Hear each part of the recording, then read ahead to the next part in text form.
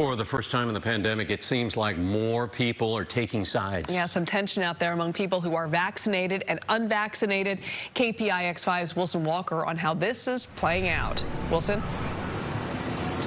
You know, Liz, about a month and a half ago, the Bay Area patted itself on its collective back for having reopened with a world-class vaccination rate. And now, kind of suddenly, it seems like all of that just wasn't enough. So what are we left with? Well, worry, a lot of uncertainty, and yes, a lot of frustration it's scary thinking about all the people that are going to be affected by this. Um, I'm not sure about where the economy is going to be.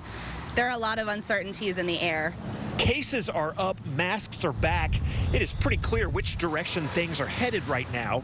Yes, it seems like we're going backwards a little bit. And with the sense that things are sliding backwards comes this growing consensus. You know, I'm frustrated with people that aren't vaccinated yet. Yes, I am frustrated with that. San Francisco bar owners put a finer point on that sentiment this week. You know, these small group of, frankly, pretty selfish people who can get vaccinated but are not are, are putting all of our lives and our livelihoods in jeopardy, and we're tired of it. And the irritation does not stop with the unvaccinated. Uh, yeah, it's getting me a little more frustrated, especially with the inconsistency of the of the masking and and where we're supposed to kind of go with them with uh, the next steps.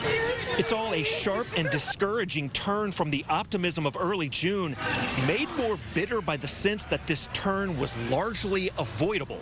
And it is perfectly human to have reactions on that that, that range from disappointment to being pissed off. Uh, and being angry. And because some of this does relate to the choices that individuals are making. In the old days, it might have been a choice that they were making not to mask, and today it's a choice to not vaccinate. But that choice still stands, and there are any number of reasons holdouts could still change their minds. I'd say everybody go ahead and get the vaccination. I didn't want it. But when I have 13 grandkids, I'm not going to get my baby sick. All right.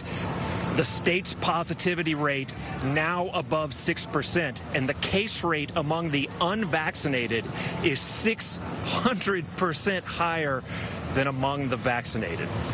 We're live here in Concord. Wilson Walker, KPIX 5.